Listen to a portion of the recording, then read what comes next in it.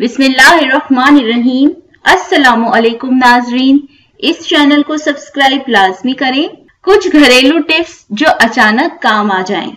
लस्सी का ज़्यादा इस्तेमाल करने से कब्ज की शिकायत नहीं रहती। चुकंदर का इस्तेमाल करते रहने से बादी बवासीर के मस्से झड़ जाते हैं।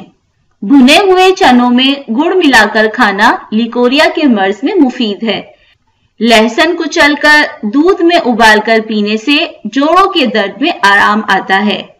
खाली पेट लीमू और नारंगी का रस पीने से कुंवारी लड़कियों को माहवारी के दर्द से आने में अफाका होता है।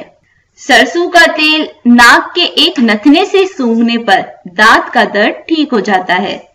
आँखों के मरीज़ को नमक, मिर्च खट्टाई और तेल का इस्तेमाल नहीं करना चाहिए। छुआरे की गुठली मुँह में रखने से गले की खुश्की दूर हो जाती है। सरसों का तेल गरम करके कान में टपकाने से कान का दर्द ठीक हो जाता है। हफ़्ते में एक दिन फाका करने से जिसम तंदुरुस्त रहता है।